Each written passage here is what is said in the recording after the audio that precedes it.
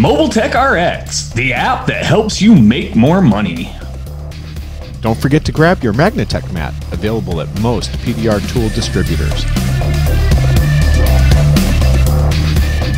Welcome to another episode of PDR Tool Time. I'm your host, Daniel Gromm, along with Vince Dalessandro and John Renstrom. Hudson is frozen. Solid. Yes, he's in the tundra. and we got an exciting show. We're going to go over an update on scanners. We're going to go over some new tools from Anson and a whole lot of other stuff. All right, guys. How are you guys doing? How's your week? Busy. Busy? Busy. You've been home. You've been home on, on snow days. Only today. No, I. know. It's South Dakota, man. We don't get snow. Not days. you. Not you. I didn't say busy. Vince. I'm not Yeah. busy. Okay. I was was home. It was a snow day for Vince. yeah, if I was down there with you guys, I would not have gone out at all whatsoever.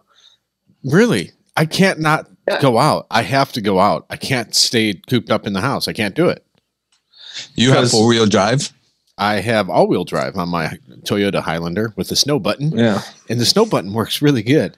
Does it? It does, yeah. No, but my only reason isn't because of the weather. It's because there's so many people who don't know anything about the weather. Mm, like you grew up in Chicago. Yeah. You, you know, um, I'm, I'm watching some of these posts on Facebook and everybody's talking about this. And I'm like, man, I learned to r- drive in the snow on a bicycle because I'd ride my bicycle in two foot of snow to go to go to school. It was probably futile effort, but dang it, my goal was to stay upright the whole way. Right. You know, Yeah. Yeah, Now, John, I, I feel your pain. My mom, I'm the I'm the youngest of four kids, right? And I went to private Catholic Catholic school from kindergarten to freaking twelfth grade, and I could count on my hand, one hand, the amount of times that my mom drove me to school or picked me up. I had to walk Absolutely. every single day across the Kennedy Expressway in Chicago, a bridge which you would be blown over on on a big windy snowy day. So you know, yeah. going out in this uh, this episode that we're having down here in Texas, I, I, I just I enjoy it. I enjoy the challenge. You know, I, it takes me back. You just Yeah. have to slow down and keep your distance and brake check, and, and when you when you're safe to do so, and and uh, don't take off fast No. and don't slow down fast.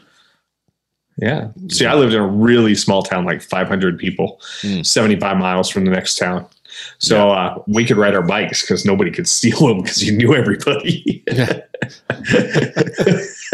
There's as many people in our whole town as was in your neighborhood. Yeah, that's that's Uh. funny. But no, it's uh it's poor Hudson. He's got it a little bit worse than most uh down there in Houston. They, they got no power, no water, no or it's been a week. no no no no. Yeah. It's I think been he's on- four days, It's right? been three days. Yeah. Uh, no, he's got power now on the third day, but that's a long time. Even two days to go without power Oh. and water With little kids, with little kids. Yeah, bless his heart, Yep. man. I got. I'd be like, uh, okay, it's family vacation time. Get in the car. Well, that's what I told him. I told him to drive up here because uh, we found out. Now this is just a theory, but where my house is, I got a hospital uh, about half a mile to the right of me, and then next block over to the left of me, I have a natural gas line, uh, pumping station, little pumping thing. So we're thinking we're on that grid. Everyone, I mean, everyone in my neighborhood around me went out, and we didn't. I felt guilty as hell. You know, because everyone's I, like, I kind of agree with you because I'm I'm next to a fire station and we Uh-huh. don't go out usually Right. Yeah. Unless unless a car hits something or whatever. So I've been making the effort. I, you know, and coming from California and from Chicago, I, I was cold weather trained in Chicago, but I was disaster trained in California. And Yeah, a lot right. of people don't understand that. But it is put in our brain quite a bit when you're from when you're in California and you live there. Hey, get a generator, get a uh, you know, get a survival kit going, this and that. It's driven in your brain. Yeah, we have earthquakes, we have fires. Yeah. it's- The we have four seasons some of floodings. California, right? Yeah, Uh, flooding, We, we anything Fire. can happen. uh, Mud. drought, and mudslides. Yeah. See, and, and that's my only, you know, I, I don't have a complaint against the state of Texas. My complaint was there was no redundancy. Yes. Um, we can complain about all the men of history all we want, but the reality is they built redundancy because they watched people die when it didn't exist. We have such a soft society now. Everybody was insistent that, well, uh, climate change, there's never going to be any bad weather of the extreme here. And Mother Nature comes along and always proves humans wrong. Yeah, the last time this happened was uh, I forgot what they said, but it was like it, yeah. Uh, I think it- there was another episode after eighty five. Uh, not as bad, but Is it this? Does this solve global warming? it's Is it- part is of it it. done now? No, Are we done? Well, yeah, global on. warming's been done a long time. Yeah. Oh. It's climate change. Oh, climate change. Yes. Oh, okay. I'm not up on my terminology. I'm sorry. Well, here's the deal, though, because realistically, you know, I like uh, Governor Abbott here down in Texas. He's a pretty reasonable guy, and like you said, the redundancy is definitely there's something wrong with that because they were advised to winterize last time they had an episode, which was like 13 years ago or something like that, and they said you is highly suggested or recommended. Now, here's the question: publicly owned or privately owned.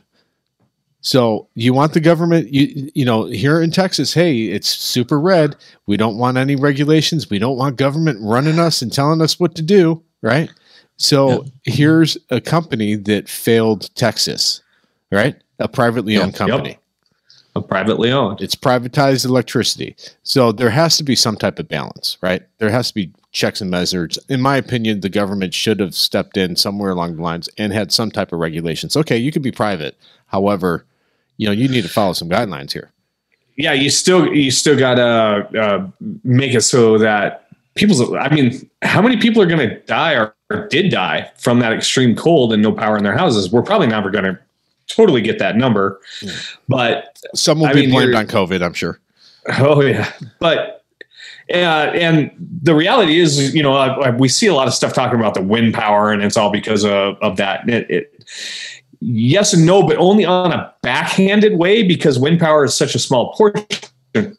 Where it is, the only thing wind power did was got rid of all of the coal-fired power plants because a coal fire cannot ramp up and down with the speed needed to make up the difference of wind, and only natural gas can do that and we don't have the natural gas infrastructure to take that. That's why everybody lost heat, lost electricity, as we had no ability to fire up those generators. It froze. It froze. So yep. yeah. So Daniel's uh, pushing us along here. We're on video, Daniel, so everyone could see that now. So you're gonna have to give us We're we're going down a rabbit hole that Yeah. yeah. could go a ways. So Yeah. Well, you know what? Let's get on to PDR talk. We're gonna have to have like a hand signal or a code word like muskrat or Waffle House or something like that. Well, They don't know my code. You just told them the code. Now oh, I was just twiddling my fingers. I don't know what you, why you have to divulge our code. our You know, you blew it, in my opinion. I did. I mean, nobody, Nobody knows knows what what this was. I'm I'm ah. I'm a wind turbine. This is a wind turbine. So, all right, Daniel's got a few tools, but before we get into that, let's let's rehash. I had the ultimate scanning experience today. Yeah, yeah. Oh, get yeah. into that. Um, so let's let's talk about that. Now, I can't we can't put it on the screen and can't share it because the information in those scans is, is private. But I am working on a 2021 Subaru Crosstrek. Uh, it is the insurance company is Farmers Insurance. How many miles? So, How many miles? uh, oh shoot, I don't even remember. Five? It's, yeah, it's it's under ten thousand miles. Um, A new, But, new, uh, new car. it's a new car. So farmers insurance, and we've all dealt with farmers. We know what they're like. We you know, are farmers. We'll, Da, yeah. da, da. we we know a thing because we've seen a thing, and we refuse to acknowledge that thing. You know, so but uh, so they didn't want to pay me for pre-scan, and I'm like, look, I don't I don't care. Now we've all discussed this. I have Autel scanners, but I decided I'm winning this argument at all costs, or I'm not going to fix this car. So I said, here's what's going to happen. Now let me ask you something. Why why were you so stubborn? Because I would have maybe relented. Because this car Because of this belongs reason. to a doctor okay. and a college professor who has a PhD in digging into everything. His idea of a fun hobby is to read the owner's manual. Okay. So, So you got This is gonna the, be- the owner. Okay, good. this is going to be over Good. the like top. that. And um, now I'm playing with different scanners. We're we're toying around, and what we've been discovering throughout the 2020 season was we're getting all these rigs in brand new with pre-existing codes. And that's been my argument when I put my pre-scan on my estimate is I label it to establish ownership of all pre-existing codes prior to the unplugging of any module, such as overhead console, uh, rear view mirror, tail lights, external mirrors, and etc. And I that's how I word it on my estimates. Well, this guy says, "No, nah, we I'll pay you post scan," and I said, "No, you have to do pre scan." And then we were arguing about the recalibration of the eyesight, and he said, "No, nah, it doesn't need that." And I so I sent him a link to Subaru's pay site, and I said, "Here." You have to buy your own subscription. You can't piggyback on mine, but it's 191 pages on how to handle that eyesight if you want to print it. Yeah.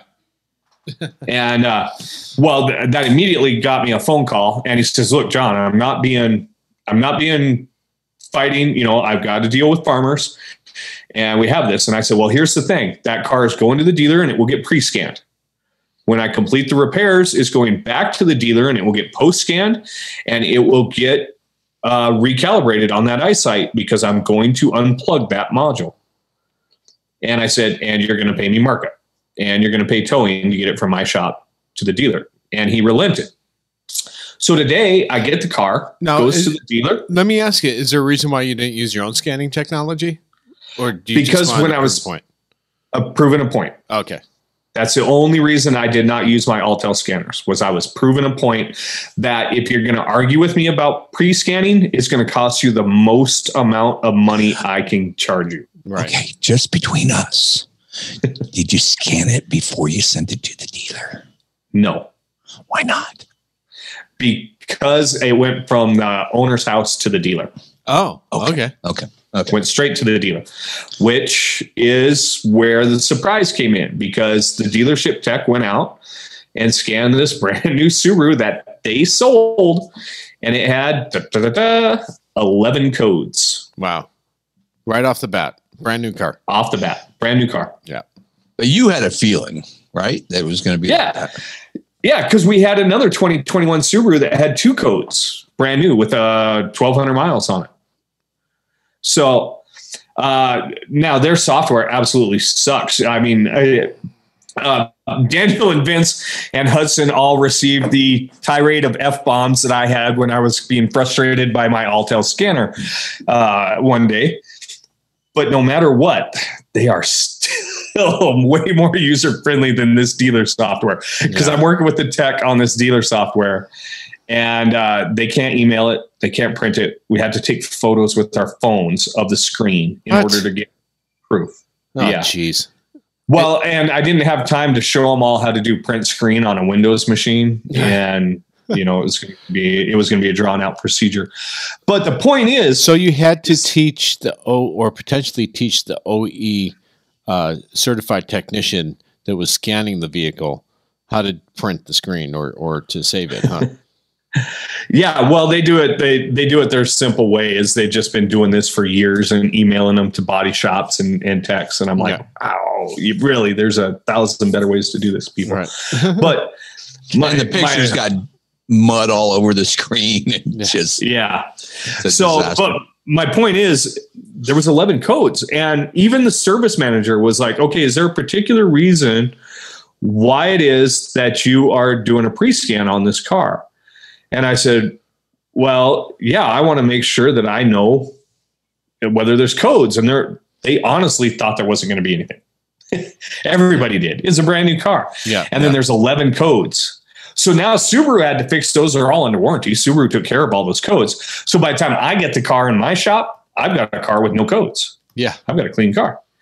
But what would have happened if I'd unplugged, say, the eyesight, uh, the overhead console in that thing, and then I took it into the dealership, and it's got my three codes that I cause and 11 others that I didn't. And they're going to want to have an awful lot of questions as to why all of those modules suddenly have a code. Man, I ain't paying for that. So No. when you called up the uh, the assurance ass- insurance adjuster, did you na na na na na na? I sent him an email with all of the the photos because they need copies of that to prove that the the scans happen. So I Doing sent the him. na na na na na uh, dance though when you were Well, I was I was a little I was a little more polite than uh, it might not show up on this. Come on, I- you were a little giddy, weren't you? Oh, I was beyond giddy. I was, I was, uh, I had my maniacal laugh going. Yeah. because I was like, I told you, homie. I said, you know what? When I sent it to him, I said, what if they just said that these were caused by the repairs? And then farmers insurance would Show me what you're working with. Show me what you're working I said, you're trying to cut costs, then Show me I what just you saved working with. customers a ton of money. Show me what you're working with.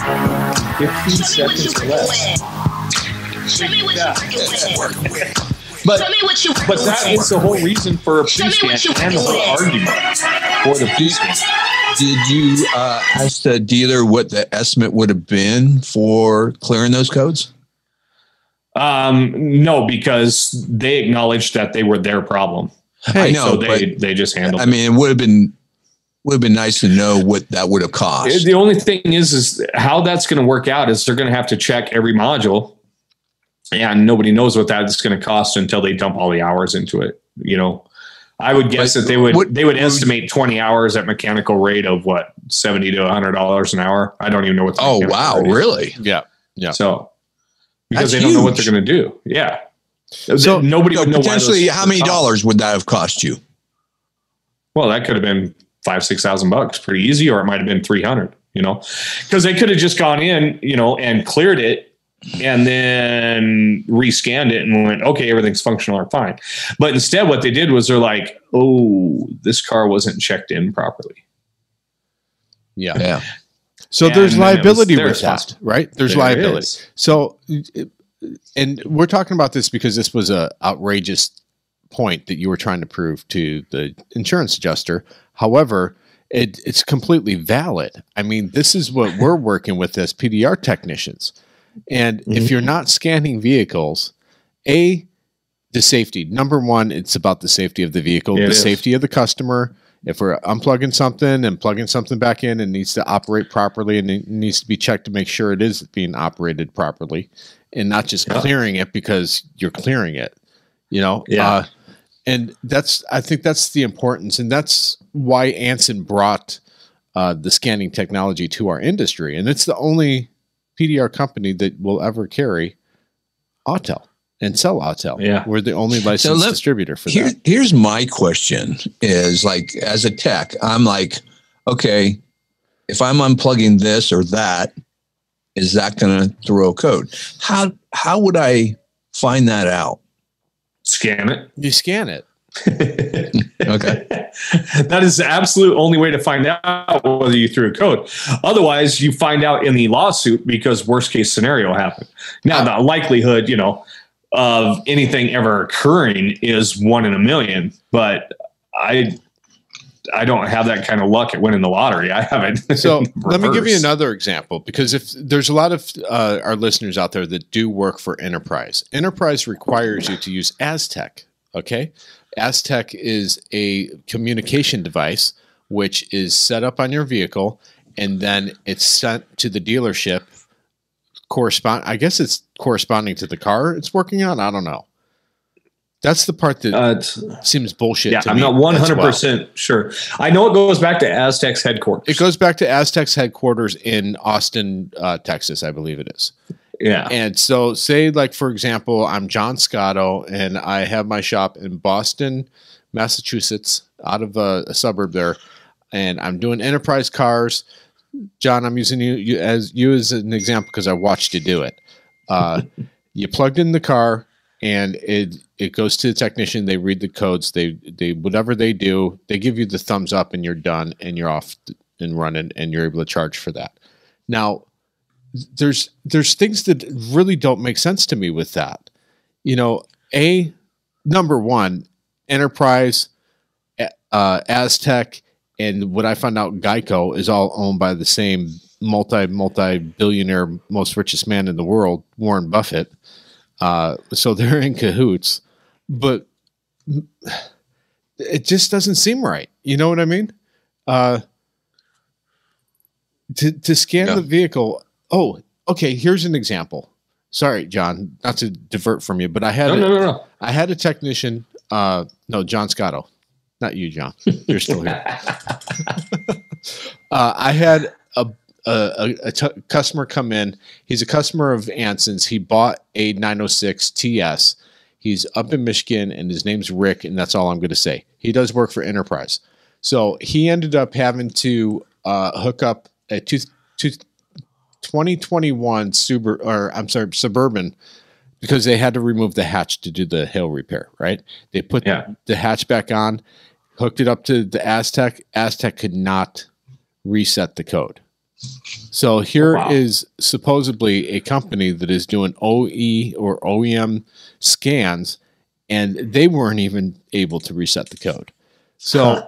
And that's just one example. That's going to happen quite a few times with asTech. I was present when John was doing one, and it didn't work as well. So, Yeah. uh, you know, nothing is perfect. Th- th- Whether it's Yeah. a Snap-on one, asTech, uh, Autel. Autel, Launch. there's Yeah. all little quirky things with all of them. Uh, the main thing is is that you're doing the effort to check in the car to make sure that the car is clear of codes before you're working on it, and then afterwards resetting any code that you caused, not what is on the vehicle, but the ones that you caused. You just don't hit the magic button and erase all of them. You know, you're only Yeah. responsible for what you put on in there. Yep. And also, when you're doing that final scan, um, you're proving, you're testing those modules to make sure that they work. Because Yeah. if it doesn't work, it's going to throw the code right back up, even though you cleared it. Exactly. So So uh, it's a way to know that you have a problem. yeah, That really, all of this was is just covering my butt. And you know, we always talk about the most extreme case scenario, and here it is. It was thrust in my lap. Yeah. And uh, secondly, to the scanning technology, you get paid for your time for doing it. If you're doing insurance jobs, they're going to pay you for your time to do it. They're going to pay you for the time to reset the module and everything else. So don't think you're just doing it for that $65 or uh, an hour uh, rate just to do a, a pre and a post. So, anyways, this is Yep. really boring talk to a lot of people. Daniel is falling asleep as we're looking at him. His face is turning red. He's getting warm from the rum he's drinking. Let's let's get let's get to tools. Can Let's we get, to to tools. PDR yeah. tools. So let's go on, Man. Daniel. You All right. give us a big So, old yawn. And I uh, got start off. I got uh, some tools from Anson, and I got Killing it already with that thing. a lightsaber. Uh, and I really like this. I think this is cool. I want a lightsaber attachment. Can you make that happen, Vince? I saw Toledo made one. Did he? Yeah, he, he- I'll send you the, the picture. I What's tell that? you what, man, I took that handle and I got Anson's new tequila pick with the hub end on it. And the uh This one? not pivot, nope, not the pivot pick, the uh the carbon steel with the sharp point. Okay. And um, I, I don't have it because I didn't go to work today. I had doctor's appointments today, so I, I wasn't able to bring my tools. But I had that thing into a fender, and the tip on that one, it- because of the smaller diameter, was the only way I could get over and and push the dent out. But the rod was too short. That you know I didn't have good leverage for pushing. Well, that inline handle, hold that up again, Daniel. The handle Oh, the handle. handle. So you'll notice the end of that handle, you can screw on all your other attachment ends right onto the end of the black part of the handle. Turn it, Daniel. Turn it. See the back. other end. That. Come on. The There, other there, end. There you go. So I screwed the six inch long extension from the other handle on there, and I had all the leverage I needed, and I could not get one of my stainless. I would have had to glue pull the dent otherwise. Huh. So I was like, "Hey, that was a dang handy tool. came came in the mail at the exact right time that I needed." Love it it. when that happens. Yeah, there's It was uh, now you guys got the prototypes. There's a little bit of work we're going to do with the handle portion of it, uh, just to ensure. Uh, Okay. You know, based on some of the feedback that we're getting, uh, you know, whether I it have should be- unscrewed it. It's fu- yeah. So we're gonna have to fix that a little bit. I would you guys prefer? Let me ask you this. This is the real question because you guys have it. Would you prefer to have that Loctited in from us, or to choose the handle length that you want and Loctite it in yourself? And when I mean Mm, Loctite, I would yeah. Loctite it with red. That way you can remove it, and you know, Yeah. because it's one of those. I don't think you're really I, I going think to you Loctite it because I can't see where you would put anything else on there. exactly right. Yeah, Yeah. well, you can screw it to any length from there. That's what I just. Yeah. I would Once you Loctite it. screwed it down tight. It was. I would Loctite it from you guys. Yeah, Just be done with it. and I'm thinking a, Because a five. You're not going to put anything smaller on here. No, I think we're going to put a five inch handle. That's a four inch that you have on there, Daniel. Uh, yeah, that's so we're going to go five, and then if you know that way, if you need to extend it, you could always extend it if you need to. yeah. yeah. So I think that would be perfect. Because- That'd be good. as technicians, we know we don't just pry with that; we twist and pry sometimes, Yeah, and it- it'll be really annoying if it does come undone. You know, yeah. so I agree. I agree. Yep. And then you Otherwise, guys came out with these these uh, pivot picks. Um, so it's an inline pick. yep, we've had those for ages, but we now have them on hubbed. So Yeah. Right. So they're unhubbed. So now you're starting to be able to get the most common or popular Anson tools on hubs, right? That's what is that what Anson's doing is slowly making hubs on all of them. Pretty much, yep. The whole uh, tequila line of hand tools are already hubbed and ready to go. Same with seven and Now- seconds. I'm I'm this is probably not where I'm not supposed to show this. So this is a prototype, I believe, right? It is, The yeah. tip. Uh, so we're showing you inside info. Yeah.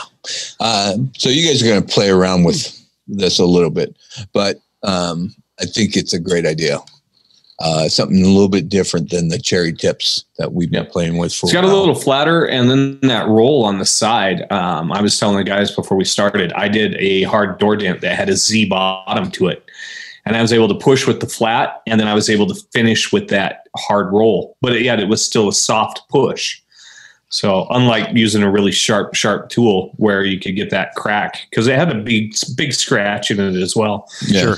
Uh, that soft tip gave it a But little for, bit soft, for hail guys, hail guys are going to really like that. I know, think flat- they are. flat tip. Yeah. Yeah. And it's removable and uh, replaceable, and they'll be sold probably in bags of 100, just like, uh, you know, the cherry Cherry chip. caps. Yeah. Yeah. yeah, you're gonna want them right in the same bin beside your cherry caps. Right? Yeah. Yeah. Yeah. Now I'm going to show you uh, another prototype, and um, Vince didn't want me to show this, but I'm going to show it anyway. So it's uh, what are these? The double Double shot. double shot, but with a blade Blade. tip. So Yeah. this is hopefully going to come out soon. Who knows when? But um, it's a prototype right now. Well, Um, Now, where's your ideal use of that, Daniel? So quarter panels through uh, tail light and and getting along the uh, the wheel well edge. You got you got those soft, uh, soft pushes or soft uh, dents along the the wheel edge, and this will knife right in there. It's it's pretty thin, not super thin, but super strong. Because Yeah. um, you get in some quarter panels and you need that strength. You you need the no flex, no mess, but That- soft pushes. that was actually made on accident. So it was not made to design uh, what we had in, in, in mind. That's why I didn't really want you showing it. That's awesome. Well, Uh, th- see, by showing it, I guarantee that it gets made. Right. Great. well, we decided we're going to make it anyways because it's a blade tip, and not everyone, especially new guys, appreciate the sharpness of tools. the sharp. Yeah. so we're finding out that uh, you know the You door need lug- both. You You, need always both. need both. You need both. Yeah, if you're working on aluminum, you need sharp. Yeah. But if you're working on soft, big dents like me, you need that. Yeah. So basically, it is a double shot. It's a tequila double shot with a blade tip rather than a sharp tip. Yeah, Yeah. and this is probably about what 36 inches. I think that so? one, yeah, is thirty six. We there's yeah, we we only had four of those made, and you got one of them. So I'm surprised. Yeah, I was we so had two in each length, but they are Um, yeah. they are going to be manufactured. Uh, in fact, this weekend, I'm myself and Craig Dyer are driving up to uh, A1 to uh, put in some other tool uh, designs, which is odd because I was actually supposed to. We were supposed to do that this past weekend, but the weather was not cooperating at all to try and make it up to Missouri. Yeah. Yeah. We, we would have been in misery, in the state of misery. Yeah, that would not have been a fun drive. Yeah. So just uh, to be safe and, and whatnot, we did not go. Oh, what you got there, Daniel? I got these from uh, Dent Reaper. Yes. He, And he said he would send them to me. He's Yeah. like, "You're not fixing dents anymore, so I'm not going to send you any." It's like, I didn't sure. why. I know, right? But you uh, know, we were we were talking about the controversy about these and and I Stan love John Liner. Bideen, by the way. Sorry. Yeah. Man, Yeah. you you hold those up next to your head, and either those are actually a pretty slim tool, or your melon has just gotten bigger. It has gotten bigger. Both. It definitely has gotten bigger. And uh, it's actually it's not my head's getting bigger. My hair. Look at this. Daniel's got like I the haven't whole. had a like- haircut in forever. you look like Superman. You got like uh, the whole. Uh, Clark Kent Clark thing Kent? going. Yeah, I, I decided to just let it grow. I'm I'm so tired of like trying to find somebody to cut my hair. I'm just like, okay, I'm going full on mullet. I, I think the mullet's coming back. I'm going to bring it back if it's not coming back, and uh, because I am a centri- uh, trend setter. uh, what's up with the lack of? Uh, what? What? Do you use Grecian formula in there? Where's all the gray hairs on the top, or what? man? It's pretty impressive. just for me. I dye the gray in. I've told you this. oh, that's right. You go. I the have to dye it in so I look older. That's right. Well, I can say from you holding those tools up up by your glasses and everything else, there is no way those are even close to any They're shaved. on the market. First of all, they're spring steel. Right. Okay. Yeah. So these are twist tools, and and uh, I haven't seen any tool made out of spring steel from uh, Stanley. And um, yeah, this is a totally different tool. There's no way, you know, other than the shape being. Yes, I like a get it. sickle. Yeah. Right. A smaller version of what he already had. You right? Yep. And and then we already we already showed a we already showed a patent from 1942 Sure. of the same design. I think So- that one was bigger than the one you're holding, though. Yeah. So, yeah, I'm gonna. now, say have you right got a now, chance to push that's the with same tool? Uh, yes, yes. Yesterday I was working on a hood and I used the curved one, and it worked beautiful. Um, it was fantastic. Just got up there. You have tons of leverage because the heel end. And Is the heel rounded or is it uh, sharp at Yeah. the edge there? That's what, No, it's it's that's what I was going to ask. it's rounded. You didn't get Okay. any, John? No. Huh. Well, they could be coming, but uh, you know, we'll see. They they're kicking the horse, but I think they might have killed one on the way. But All right. Yeah. they might have. So yeah, uh, uh, those are the thing is, when you have a big heel like this, you you get more leverage because you have more surface area hitting uh, the brace or whatever you're leveraging off of. So it's more positive and it's more control, in my opinion. No, it's beautiful. So Good job, Yep. Vidine and uh, Mr. Rich Hummert. Yeah, yeah. That's a that's an awesome collaboration right there. yeah. so love it, and um, guys, go out and buy some of these right, now. Well, I'm done talking about uh, the the knockoff. I, I'm not even entertaining that anymore. That's clearly, you know, something completely different. Well, I finally got a chance to see them relative to something. When we're looking at photos, you have no size comparison, but when those when those are up by Daniel's glasses, you know his glasses are no bigger than mine. So it's like, okay, that's yeah, that's getting into hoods and and decks and and th- those those are two completely different things. Yeah, it's a small tool. Cool, So nice. Yep. awesome. but um yeah that's the few tools that i've gotten this week uh i got some prototypes from uh vip also but he didn't want me to talk about those yet right. um he's always coming out with good stuff and playing playing with all kinds of different materials and things like that Yeah, you know, last time when Peter was in here, uh, maybe uh, I don't know, maybe four, three, four weeks ago, he was he stopped in at Anson, and I laughed. I'm like, dude, remember when you worked at you? You'd like, hey, Vince, can I stay? Can I sell my VIP knockdown at your booth with my wife? And I'm like, yeah, sure, no problem. So, you know, it was the first year Magnatek Mat was selling something at MTE. and him and his wife, he st- they just sat there the whole weekend, two days straight, and sold that VIP 2. Point, or 1.0. 1.0. Yeah. Right? Just sold the crap out of that thing. He's like, oh, this is for my wife and, and for my kids, my two daughters to have something to do. I'm like, okay.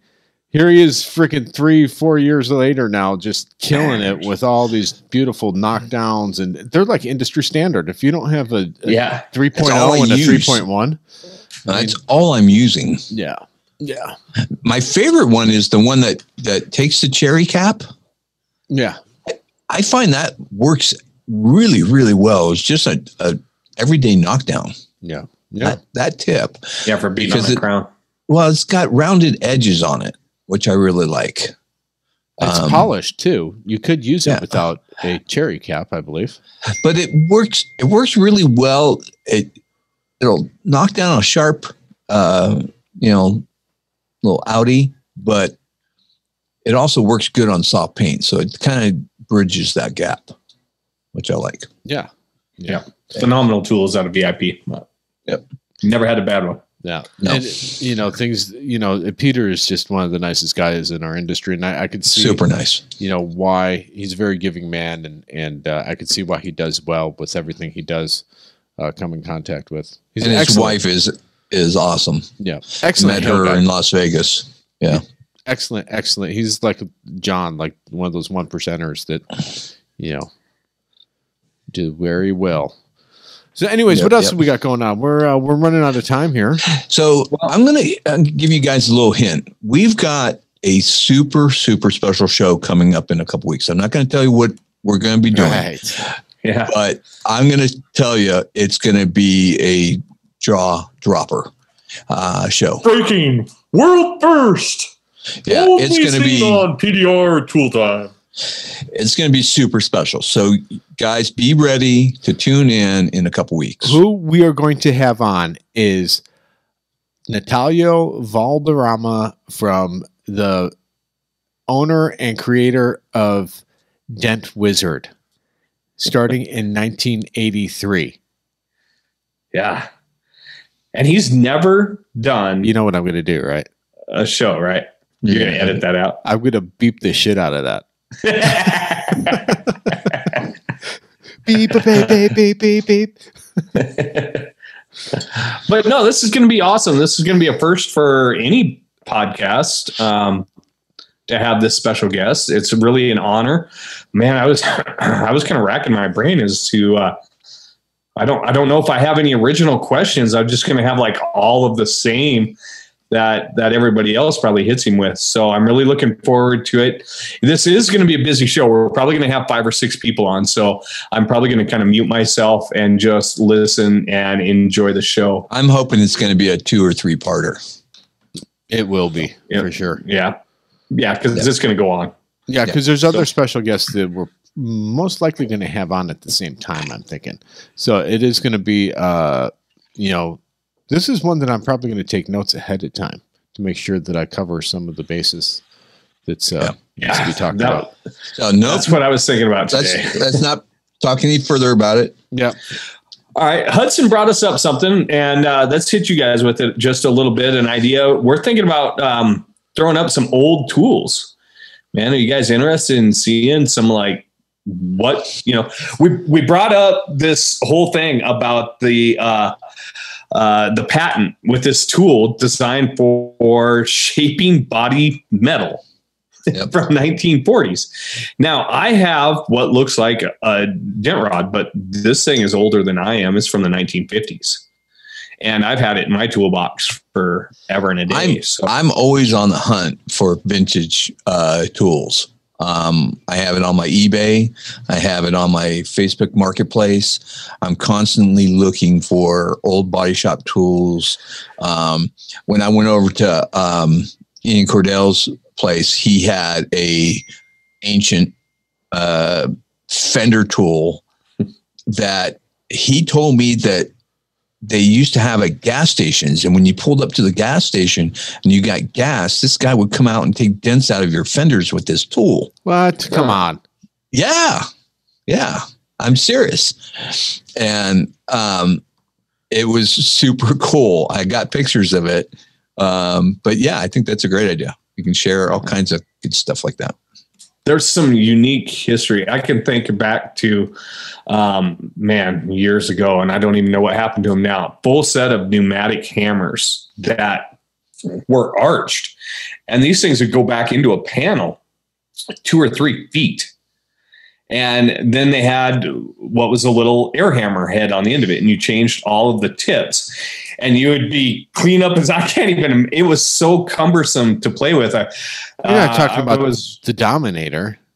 no, this thing makes the Dominator look lightweight and a child's toy. Oh, okay. These things were monstrous. These are from way, way back, 40s, And, 50s. and honestly, a lot of these tools were used on open fenders. You know, back in the day when they had, you know, open fender type of uh, dents, um, you know, those panels were thick.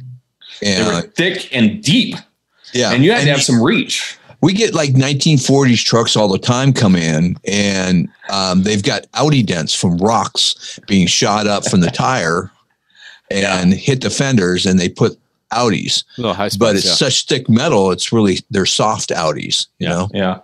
And I I, had, uh, down. Now here's the difference, though, and and John could attest to this as well because he was a body man working on that stuff. Just because it's thicker doesn't mean it's stronger.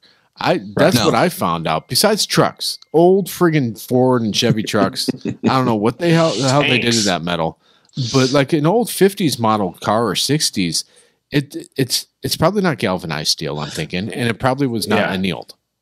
Nope. And you got to use some blunt tips because if you use a sharp tip, it is it is poke city, man. Pickling Pete goes to town. Yeah, Yeah. So um, And some, you know, I've learned on motorcycle tanks, I've found the older the tank is, the softer the metal is. So I don't know what, you know, what the, the makeup of that metal was, but it was soft and easy to push, almost like pushing lead. Interesting. Now I did an 82 Yamaha, just kicked my butt. Yeah. yeah. 80s. but it was good. it was bad. It didn't have any paint on it to begin with, so it was a good it was a good test run to see how you could shove a tool in. But yeah, we're gonna um, see if we have some some stuff. If you guys have a vintage tool, send us a photo of it and Yeah. a, a bit of a description because. The thing with old body shop tools is, man, most of them got just thrown in cars into junkyards. Nobody thought they would be important or anything of significance. Whenever I go to a, a swap meet or something like that, I always look at old tools, even wrenches and stuff, because that stuff has value to it. Even before Snap on, there's I am there's always wrench- I'm always on the hunt for hammers because some of the old body shop hammers and the weird shapes they have, um, I Oh, pick them yeah. up.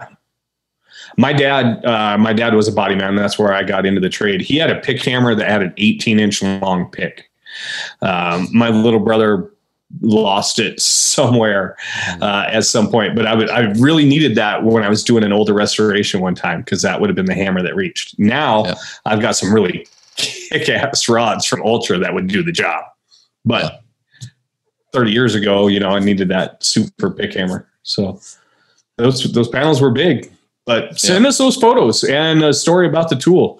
Tell us a little bit of it, and uh, we'll see if we can get them on the air. Now that we're doing video, Yep. so Yeah, I've got I've got a couple that uh, you guys would enjoy. Um, I've I posted a, about a few of them probably, um, but um, and also dollies. I collect dollies all the time. Not now not your not Barbie. early dolly Barbie dollies. You have an eye for that stuff, Daniel. I mean, your look at your shop. Your uh, shop is an antique. You know, and that that takes a certain eye. Not everyone has that eye. I try to have that eye, but I don't. Yeah, I I don't know what it is about me, but I I just love it. Anything I can collect. It's your feminine Um, side. Could be, could be. I picked up a Well, I picked up an caught. antique I picked up an antique vice that a buy shop was going to throw away. And this thing was huge. I mean, a huge Those things go for a fortune out here. Oh yeah. Oh yeah. I mean, this thing's worth 500 bucks easy all day long. And I took it and I cleaned it up. I repainted it, took it apart, re-greased it. It's perfect. In fact, it works better than perfect. Yeah. love it. Well, why would you do that? Now you knocked all that patina off and stuff, or it wasn't functional. It wasn't functional. absolutely It was loathe the term patina. it it didn't have good patina. You know, it, Yeah. it had it had overspray patina. All right. Yeah. All right. Nice. Well, I, I look forward to seeing uh, what you guys can throw at us and what uh, four of us can kind of come up with. So, So- I told that story. Did I tell the story online about my wife hitting the, the Tesla? Was that online? No, Or that was was, that on. private? Uh, that was on private. Oh, okay. Because I finally got the, uh, the notice uh, of how much it costs to repaint the rear Tesla bumper. That's not bad for a Pearl. Pearl White. No. That, that was paid by uh, Sa- Safeco Insurance. Safeco. So No. uh, they had Liberty Mutual. Liberty Liberty. Uh, so Yeah. yeah. Liberty was there. So Liberty paid them, and we had to pay Liberty. so if you're uh, if if you ever get into a road rage situation, or if you want to hear the story in person, uh, ask me next time you see me, and I will tell you the story of my wife ramming a Tesla Model S. now, you have to admit, there is a sense of irony in a woman that moves from California to Texas and then runs into a freaking Tesla. Yeah, and we don't live in the city. See, I, Tesla drivers aren't aren't bad. Uh, it's the Prius drivers, dude. No, the this Prius guy- drivers are the worst. Oh man, this this this yeah, not Really? this guy. I always thought Honda drivers were were really the worst. as a- BMW. Come to California and you'll you'll find out what a Prius driver really is all about. Prius drivers and BMWs. BMW There- drivers. there's a Facebook douches. pro- there's a Facebook group called We Hate Prius Drivers. There's a Facebook group on that. So We're gonna look that that- tells you everything. Jason Thrasher, Yeah, we still love you. yeah. Well, he, people hate the way he drives because he he drives by by his meter, trying to maximize his his uh, his Ah. MPGs and stuff. Oh, Yeah, See, that's, what it is that gets people all all road raged. yeah, yeah. So Yeah. All right, well, then we got And some great it in the stuff fast coming Yeah, great Okay, stuff happening. Absolutely.